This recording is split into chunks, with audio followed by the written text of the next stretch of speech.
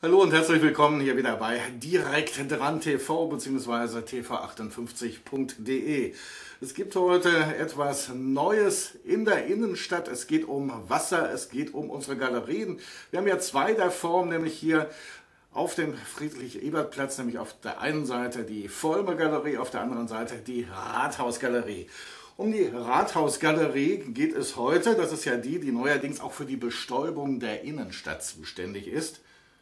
Äh, habt ihr jetzt nicht verstanden? Ja, die haben ja neuerdings die Bienenkörper oben auf dem Dach und sind natürlich dann dafür zuständig, dass hier alles ordentlich bestäubt wird, dass auch alles ja, schön blüht hier. Ne? Also wenn ihr eine Biene seht, schönen Gruß, die kommt oben von der Rathausgalerie. Jetzt haben die aber noch was Neues. Die haben nämlich seit dem 16. eine neue Ausstellung.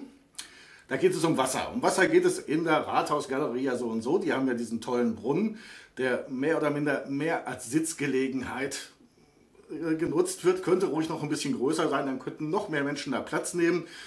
Äh, was dieses Kunstwerk an dem Brunnen darstellen soll, das wissen wir bis heute nicht. Vielleicht wird es irgendwann mal gelöst von der Firma Coprian.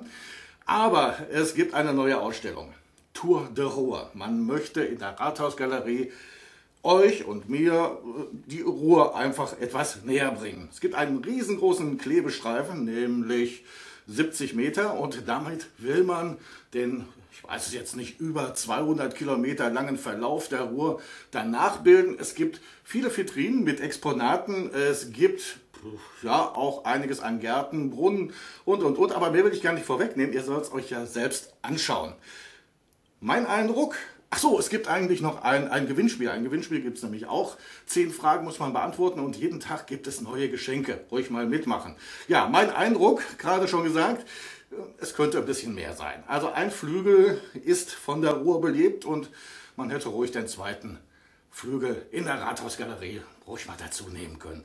Vielleicht habt ihr eine andere Meinung. Wenn ihr die habt, schreibt uns ganz einfach. Und ansonsten gibt es ja ständig Neues hier bei uns bei Direkt dran und TV58. Tschüss und viel Spaß bei der Hitze.